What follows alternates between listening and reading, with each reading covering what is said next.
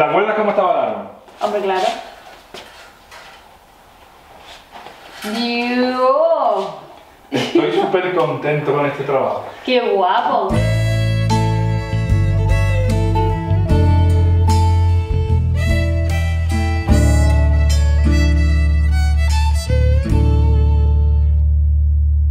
Muy buenas y bienvenidos a un nuevo vídeo de Kaeluen. Este verano ha sido el verano que yo recuerde desde que tengo uso de razón el más duro para el cultivo del bonsai en lo que a calor se refiere. Ha sido brutal, brutal. Y menos mal que no ha sido un año de viento, de mucho viento de levante, porque el, el viento de levante es un viento seco, es un viento caliente y entonces lo que pasa, el efecto que hace es que es como si estuvieras literalmente con un secador de pelo de aire caliente. Yo no sé lo que es secador de pelo, ¿no? Pero me lo han contado. Secador de pelo de aire caliente encima del árbol y los achicharra. Y hay muy poco que puedas hacer. Sí, durante unos días los puedes resguardar, pero claro, si tienes tres, si tienes miles, pues mucha agua, mucha agua, mucha agua y por favor, Dios, eolos, para allá. Una cosa así. Y este árbol es una de las víctimas, víctimas entre muchas comillas, porque está vivo, está verde. Habéis visto que se ha secado mucha parte, sobre todo parte interior, y todo esto es nuevo. ¿Qué hacemos si el árbol se nos ha quemado por un secón o lo que sea? Obrar en consecuencia, evidentemente. en este caso, protegerlo, meterlo en un lugar húmedo, protegido de corrientes de aire, y claro, no se toca el árbol, no se trabaja el árbol hasta que no se vigorice. Todos estos crecimientos son nuevos, el árbol está ya que se sale del pellejo la rama, las hojas secas viejas, eso ya es historia antigua, eso ya pasó. Queda ahí como un mal recuerdo y para adelante. Aquí nada de rajarse las vestiduras. Así que voy a limpiar todo lo que es la hoja seca. Voy a dejar el árbol perfecto para trabajarlo. ¿Qué voy a hacer en este árbol? Le voy a limpiar, que no trabajar la madera. Tiene la madera así ya con con mucha cortecita. Voy a cepillarla, voy a limpiarla. Si hace falta limpiar la madera muerta, que todavía no alcanzo a verla porque tiene muchas hojarascas, pues la limpiaré también con la pistola de agua a presión.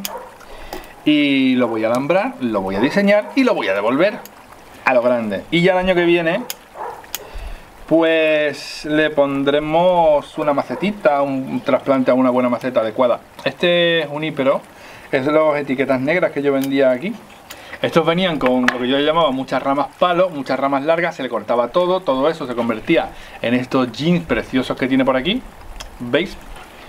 Y porque claro, se retorcía la base y luego se dejaba una rama larga. Cortas la rama larga, te quedas con la base enrollada y te hace unos jeans espectaculares. Y ahora que tiene ya el verde muy saneado y está el árbol vigoroso, se trabaja y ya se olvida, se, se deja tranquilo, nos olvidamos del árbol durante 2 a 5 años. Se va a alambrar con cobre. Hay que estar pendiente que el alambre de cobre no se clave, que empieza a clavarse, se desalambre y se vuelve a alambrar. Si hace falta, si no, se desalambra y punto. Hay una pregunta muy típica, muy típica, que David, ¿cuánto tiempo hay que dejar puesto el alambre? El alambre hay que dejarlo puesto hasta que cumpla su cometido. El cometido del alambre es colocar la rama en una determinada posición. Cuando tú quitas el alambre y la, y rama ya se queda con esa forma que tú querías darle, pues ya no tiene sentido volver a alambrarlo. Si tú le quitas el alambre, que le tenías la rama está aquí, y está así, peón, y se vuelve a su sitio, aunque no lo haga como un resorte, pero lo puede ir haciendo en días sucesivos, tienes que volver a alambrarla y volver a colocarla en su sitio, hasta que le quites todo y se quede ya como tú querías. Y fin. El ideal siempre es, que el árbol ya no necesite alambre. Tengo muchísimos, por ejemplo, el ficus que tengo aquí arriba no tiene, tiene un tensor, no ninguno, nada, perfecto. No tiene ni un alambre y prácticamente ni marcas de alambre ya. Eso es lo que buscamos. Pues nada, os dejo con musiquita y voy a seguir yo haciendo esto.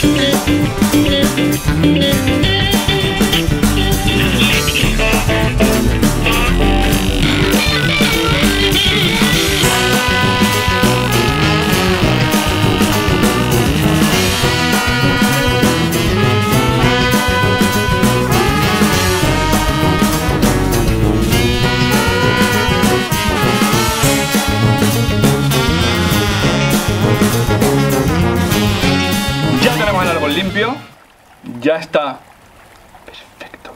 Y ahora me lo voy a llevar. Vale, yo es que me hago mis propios efectos especiales, cosas de pobres. A mi pequeño banquito de trabajo, estudio de bonsai que te quegues, porque necesito trabajarlo. Si veis, y si no, no, no me lo ha dicho nadie, ya me lo digo yo, soy muy autocrítico. Si veis que mm, estos trabajos que son más en, detalle, como el Tanuki ayer, hay poca charla y simplemente me veis que estoy trabajando así con cámara rápida lo que sea, es que yo para trabajos así más finos necesito estar mucho más concentrado. Entonces necesito dejar de estar pendiente a la cámara, dejar de hablar y dedicarme simplemente a esta rama, esto no sé cuánto. Y como ya está tan súper trillado el tema de cómo se alambra una conexión entre dos ramas y cómo formar masas de verde, pues permitidme que sea mucho más eficiente en mi trabajo para que luego veáis un buen resultado. Así que vamos al banco de trabajo.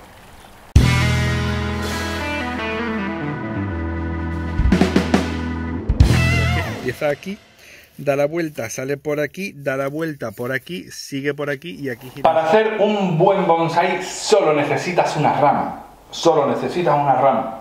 Os voy a poner un ejemplo aquí de un trabajo mío donde con un brote único y una primera bifurcación en V, que eso da de forma natural el árbol, pues eh, llegué a desarrollar una estructura completa de un bonsai. ¿Es porque soy un fuera de serie, una cosa que dice tú? Pues claro, no, es broma, es broma. No, eh, son directrices, es como, es casi una fórmula matemática. Lo que pasa que luego...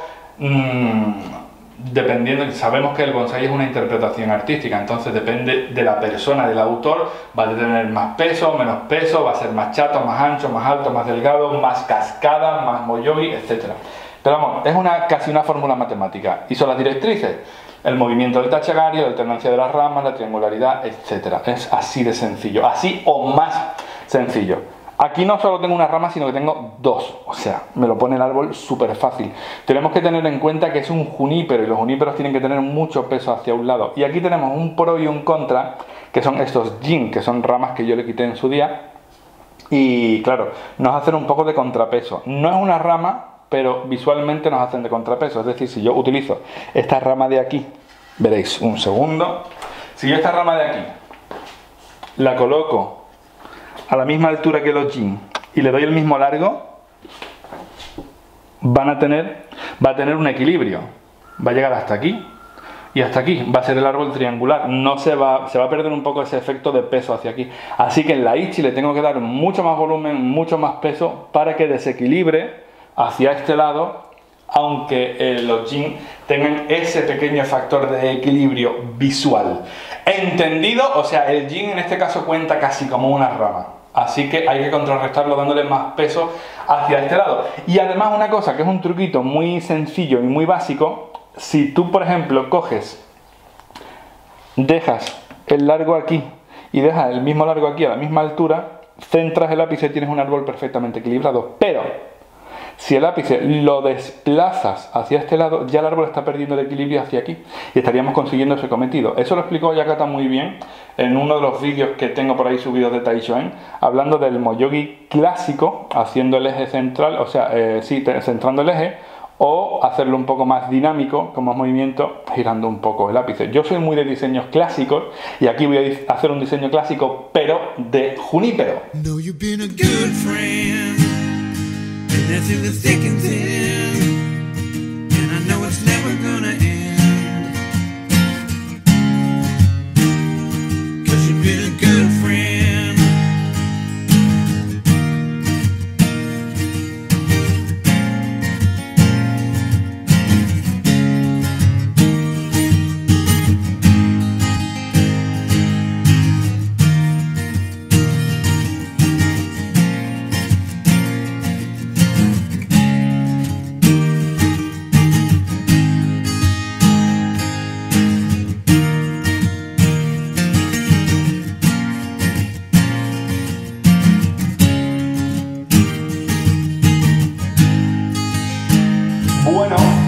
ya doy este primer trabajo por terminado. Lo primero fue una selección de ramas donde se hizo desaparecer todas estas ramas palos que tenían un movimiento muy bonito en el inicio, pero que luego se deja crecer recto simplemente para formar estos jeans.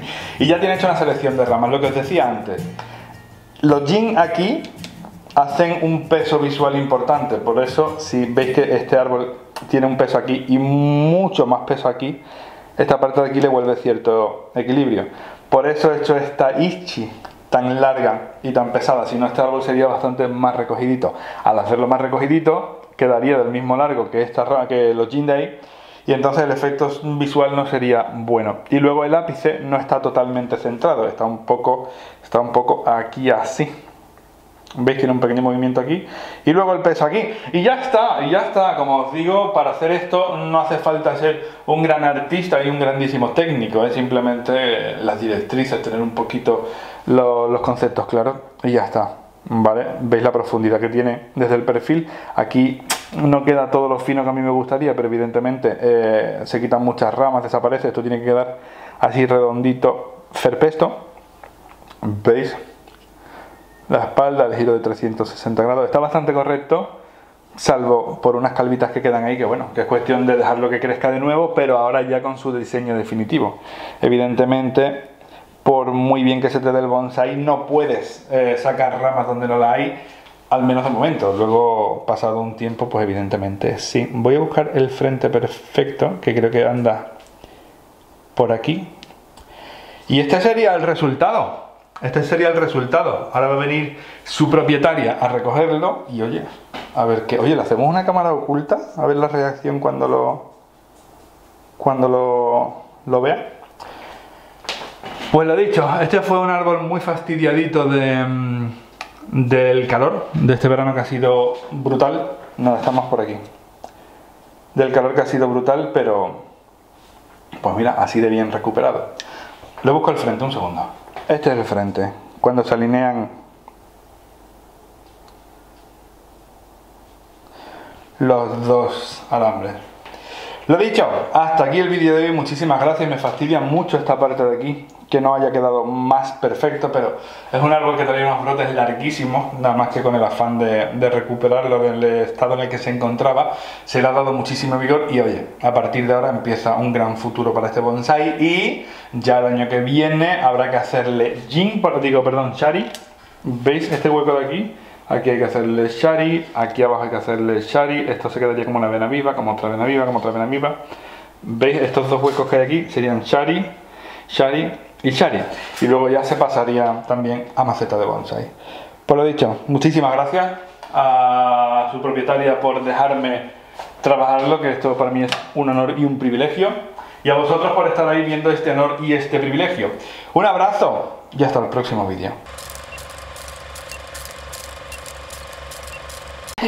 Tienes que echarte hacia adelante. ¿Te acuerdas cómo estaba el árbol? Hombre, claro. Dios. Estoy súper contento con este trabajo. ¡Qué guapo! De lápiz se me falta un pelín. Sí, porque está un poquito, pero... Claro, pero es que él tenía las ramas muy largas, las ramas muy largas para Digo, recuperarlo. parece otro. ¡Qué cambio! Pues yo tengo una maceta ya para este. Ponte aquí atrás eso. ¡Qué guapo, ¿no? Y encima con cobre, ¿no? Claro. ¿Qué te parece esta rama? ¿Demasiado larga? No, yo la veo perfecta. Sí. Porque es que. Por el como- movimiento. Claro, es que como tiene mucho peso en los jeans ahí Sí. y el árbol tiene que estar desequilibrado para acá, si le pongo la rama más cortita se queda muy triangular. No, ahí va. Me gusta, me gusta tal cual. No le cambiaría ahora mismo nada. Pues espérate. Es que te lo he puesto aquí porque está del frente, me he pegado una hora para coger el frente. Dios. Mira. Qué guapo, ¿no? Encima tiene ya la espalda cubierta. Todo, ya, todo. Ya es densificar y pinzar, pinzar. Lo único aquí, esta Sí, parte esta de calvita de arriba, pero vamos, esto se va a cubrir en dos años. Claro, pero es que el rollo es como traía las varas muy largas para recuperarlo Sí. del. Del varapalo que te llevo este verano. Bueno, antes del verano. Tío, qué guapo. Qué bonito ha quedado, ¿eh?